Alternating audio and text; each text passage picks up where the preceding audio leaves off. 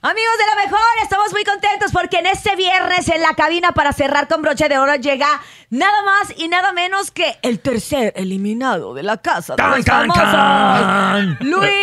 Luis el Potro, ¡Eh! caballero.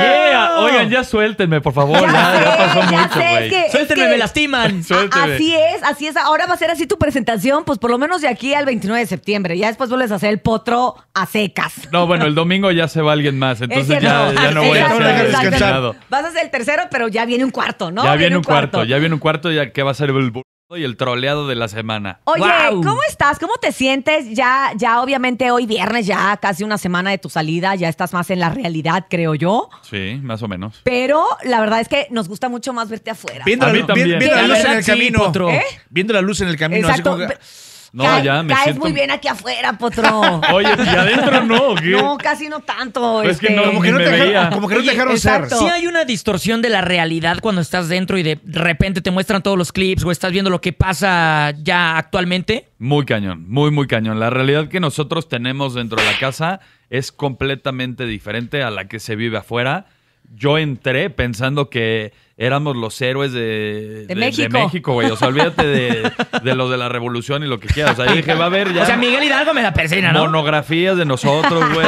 Va a haber monumentos y todo. Y la neta, Quitaron el ángel para poner al potro. darme cuenta de, de que somos los más odiados está cañón.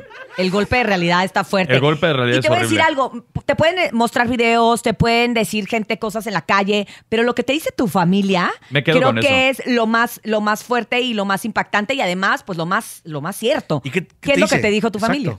Todos estaban súper contentos. Me- me- la neta me dijeron, güey, estábamos rezando, qué bueno Que que, saliste. que saliste porque se va a poner horrible y, y tóxico el tema allá adentro. Tú no caíste en provocaciones, tú te comportaste súper bien, estamos orgullosos de ti. Y Sí, ves muy tranquilo, ¿eh? Muy tranquilo te la neta veíamos. sí, la neta sí, estaba muy tranquilo, me la pasé muy bien y agradezco el, el haber salido, la neta. Oye, ¿qué harías diferente si volvieras a entrar? Si te dijeran, oye, vas a volver a entrar. No, ya no entraría. No, pero- definitivamente. Oye, es un. De plano, ¿eh? No, es ni- una suposición, pues. O sea, si te dije, si te pu- pudieras regresar el tiempo y te dijeran, esto es lo que va a pasar. Vas de nuevo de cero. ¿Qué harías diferente? Estrategia. Disfrutar más. Ok. Disfrutar más. Ya no, No ir con- engancharte. no, nunca me enganché con absolutamente nada. La neta, yo estaba muy relajado. Era el más relajado de todos. Sí. Pero creo que sí era el rollo de divertirme más. Que todos se divirtieran más. Eh, Es que entraron desde el día uno en la estrategia y si entras Todos. desde el día uno en la estrategia te vuelves loco porque no estás disfrutando, estás nada más Exacto. pensando qué hago y ahora qué sigue, ¿no? Sí, es horrible, horrible. Yo creo que disfrutaría más y no haría equipo con absolutamente nadie.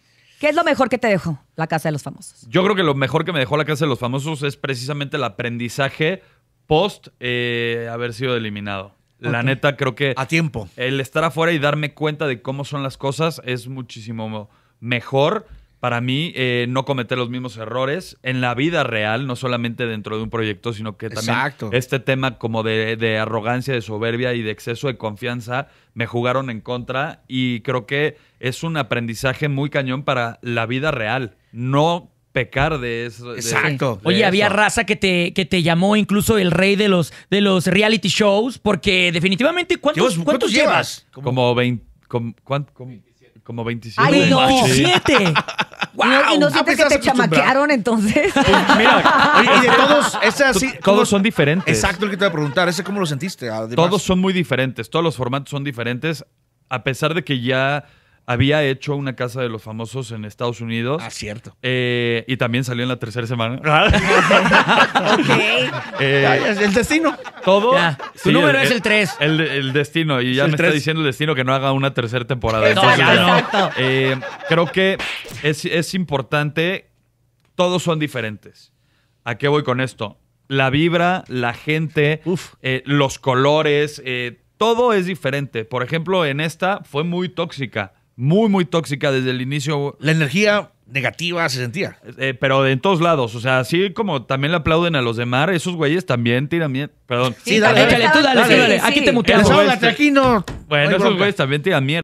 Y solamente eh, enfocan a, a- a- a los de tierra. Siento que está muy sesgado y que está muy desequilibrado el rollo. O sea, toda la gente le va a amar y todos ve- odian a Tierra, pero no ven las cosas que también hace Exacto. mal Mar y las cosas que hace bien Tierra. Siento que tiene que haber alguien objetivo que pueda darle ese punto de equilibrio, porque también ya si no este, estás jugando con, sin portero, güey, pues también Exacto, no, Oye, te, te vimos como que cuando ya estabas en, en la silla y ya abren la puerta, tu cara des- desenganchado. O sea, No ¿sí te pensabas? esperabas. Pues yo pensé que iba muy bien. Ah, Te es el desenganchado. meme del momento, güey. O sea, ¿qué te dicen? Ven, jálate y tú.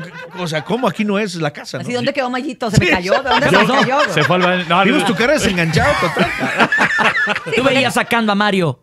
La neta sí, la neta sí. O sea, cuando inició la Casa de los Famosos y fueron las revelaciones de todos, yo vi la reacción del público con Arad, con Mayito, con gente que no tuvo la misma reacción que cuando revelaron a un Ricardo Peralta, cuando Exacto. eh, revelaron a un Adrián. Claro. Yo entré con esa información. Claro. Imagínate, yo hice mi, mi estrategia y el Dream Team que redes sociales me estaba arrojando, la inteligencia artificial. Exacto, exacto. El, Y algoritmo. El algoritmo era ese. Y de repente me lo banearon y ya me metieron a, a los demás. Y dije, no, pues, ¿cómo pasó esto? Yo jamás hubiera pensado que me iba a sacar un, Mario Besares o que me iba a sacar Sabine. O sea, Sí, claro. para mí fue fuerte enfrentarme a esa realidad. Pero bueno, creo que también está, está padre que le hayan dado esta segunda oportunidad a, a- a Mario de reinventarse, de, de que lo conozcan, de que igual y no es la persona que todos estaban pensando. Y, y- y qué bueno, creo que se lo merece. Oye. ¿crees en el destino? Porque bueno, Totalmente. es tercer eliminado, tercer eliminado. Además, tú no estabas nominado. O sea, si no hubiera Nunca sido fui por nominado. exacto, si no hubiera sido por el complot, tú, pues a lo mejor probablemente seguirías Ahí pero, claro. pero si crees en el destino, crees que por algo tenías que salir. Por gracia, por obra divina, creo que estoy aquí. creo que fue lo mejor que me pudo haber pasado. Creo que una semana más o dos hubieran sido contraproducentes. Eh, y la neta, todo está intacto. Dentro de todo el que pueda haber alrededor de mí y de tierra y de todo, soy el que menos ha Sí. recibido. O sea, yo no sé Sí, qué va a pasar cuando salga Mariana en este caso, que está nominada. Claro. Oye, a- a- a- Gomita. Adrián. Oye, ¿Qué onda a con ver, Adrián? ¿Quién ¿a quién crees crees que que, salga? salven hoy? Yo creo que se va a salvar eh, Mariana. Sí, yo también creo Yo que creo que van a salvar a Mariana. ¿Se va Tiene- Gomita? Sí. Sientes Yo que se va a Yo ella. también Yo siento que se va a Gomita. que pueden Sí. salvar a Mariana hoy. Te vimos muy pegado también eh, de Adrián Marcelo. Ahora que estás fuera, tu perspectiva eh, de él Te, ve- te ves muy pegado con él, ¿no? Sí, sí, sí, me llevé muy, muy bien De con hecho, él. ese fue el... Ese fue el hit, ese fue el Eran Don Quijote y Sancho Panza. Imagínate, Claro. Sancho Panza. No, oye, qué partida, Imagínate. qué partida de me pusieron, o sea. Y ni así te dejaron Ni así del- te llevó a la suite. Ni si así te Oye, llevaron al pero caballo. ¿cómo ves ahora a Marcelo de acá, de afuera? bueno, a ver, él está jugando su juego. Ah, él sabe pero cómo. muy cañón, ¿no? Él sabe cómo manipular, él sabe cómo estar. Por algo estoy aquí, yo fui manipulado, puede ser. Sí. Pero eso no quita que me caiga, que me caiga Bien. La Sí, neta, es a to- un güey encantador, como buen bribón, o sea. Claro, claro. El güey sabe sus cartas y las maneja muy bien. No te puedo decir, ah, lo- por él estoy afuera. Al contrario, es un güey que, del, que aprendí mucho. O sea, aprendí a no confiar en la gente tan, tan rápido. Y, y también le aprendí como este rollo de envolver a la gente con, con labia. O sea, lo hizo muy, muy bien. Y, y la neta, espero que, que, que no salga tan pronto porque Y es que le está poniendo- se va a enfrentar con algo horrible. Es que lo que te iba a decir.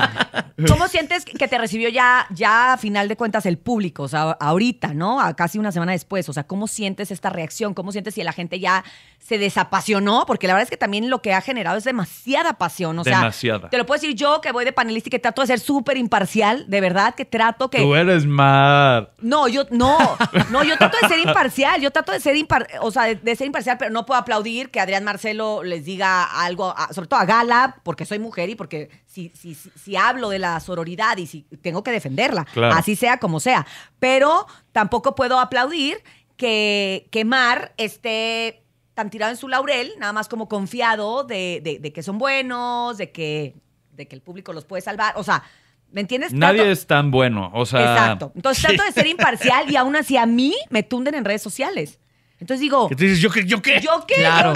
Imagínate a mí y a, los que van saliendo. Por eso te digo, ¿cómo sientes a una semana después? Pero también, también se apasionan al principio y ya después como que ya le bajan tres rayitas. Mira, en el momento que salí no tenía teléfono. Entonces, después Bendito. darme cuenta de todo lo que se generó y de todos los comentarios negativos y así, es fuerte. No te voy a decir, ay, no, me vale. no hay una persona que le valga más. Sí te bajoneas, Tanto claro. Yo estoy acostumbrado a que me. Madre. Pero ya estos niveles Sí, bíblicos, güey, dices, güey, que aguanten, cabrón. O sea, Era un juego. suéltenme. O sea, Es además es un juego. Es un juego. Aparte, no hice absolutamente nada malo. O sea, Exacto. es parte de, ¿sabes? Pero sí es, es, es fuerte enfrentarse a la realidad. Pero bueno, es un juego y es un reality en el que todo puede cambiar. O sea, mañana alguien de mar puede decir algo fuera del lugar y los van a crucificar y los de tierra de repente van a decir algo bueno y se van a convertir en los inmaculados tocados por Dios, como están siendo los de, Oye, los de mar. Exacto. Ahora que conoces lo peor y lo mejor de todos los integrantes, ¿quién crees que vaya a ganar? ¿Quién es tu gallo? Eh, Sanarat de la Torre, yo creo que va a ser el que. Sanarat. va a ganar. Sí. No creo que vaya a ganar, fíjate. Pues mira, si no se truena mentalmente, él puede no ganar o puede ser ganar. Karime. Esos, ellos dos son tus gallos. Eh, Pues no son mis gallos, creo que Por lo que la viendo. lógica y por lo que Exacto. estoy viendo El- pero acuérdate que el algoritmo te engañó. el algoritmo me engañó. En una de esas gana Mario. Besares. Ah, ¡Aprende, ándale. potro! Pues mira, que gane quien se lo regresan a merezca. Shanique o no sé, algo puede pasar. Oye, ¿tú, Topo, quién crees que gane? Ay, híjole. Independientemente de quién es tu favorito, porque una cosa es que tú puedes tener un favorito y digas, ¿sabes qué? Pero no creo que gane. güey. ¿Sabes qué? La neta puede ser Adrián Marcelo. ¿Neta crees que puede Sientes- ganar? Sí. Yo, yo también siento que puede ser él. La verdad, eh, difiero mucho en su pensamiento, pero de alguna manera creo que es el antagonista perfecto. Yo creo que puede ganar Karime o Brigitte. Cian. Ah, Deja que pongo risas, deja que te pongo risas. sí, güey. Una hora ponla. Una hora, vuelve a picar otros dos tonos. Sí. Cian Chirón. Cian, Cian. Imagínate, y el ganador Y el chico sin, es sin sentimientos, ¿cómo se llama este? Cian. Así como Shani que no puede decir Cian Chirón. Chen, Chen, Chon. ¿Cómo se llama el chico sin sentimientos? Este... El chico sin sentimientos, Agustín. Agustín. Agustín. Oye, en una de esas- a mí me No preocupa. no se ¿Qué le ríe, no nada. Pero no siente nada. A mí Pues me no. preocupa Le que, pusieron carne no se la comió, o sea. que se les olvide y se acabe el reality y Agustín se quede en la casa, güey. De hecho, es lo que se le avise. Él, él es lo que decía, que quería quedarse a vivir ahí. Dice, Pues es yo que- no tengo familia, no tengo nada, yo, puedo- yo me puedo quedar aquí.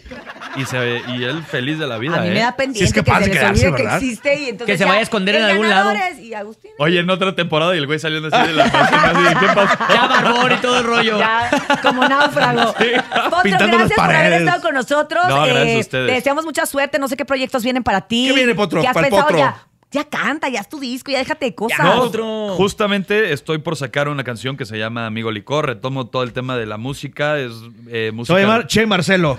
No. Che Eh, Marcelo. Amor prohibido. Ah, amor tóxico. No, eh, se llama Amigo Licor y es eh, música regional mexicana que me encanta. Es eh, un tema de mariachi con arreglos como de orquesta mexicano. ¡Órale! Eh. Luego, si me dan chance, lo- se los vengo a Oye, presentar pero por aquí. preséntale favor. aquí. ¿Por qué no te avientas una capelazo ahorita? Aquí estamos. Porque estoy, no he dormido. Ah, no te preocupes. Malísimo. Yo, a mí me gustaría mucho que cantaras Salvemos a tierra. No, ¿sabes qué? Voy a hacer. Pégate pa' mí, pégate pa' mí. No, espérate, espérate.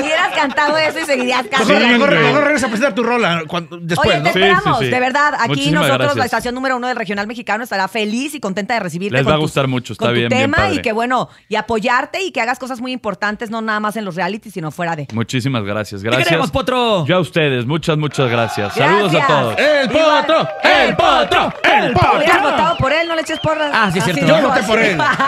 Yo, yo fui los que votaron por él.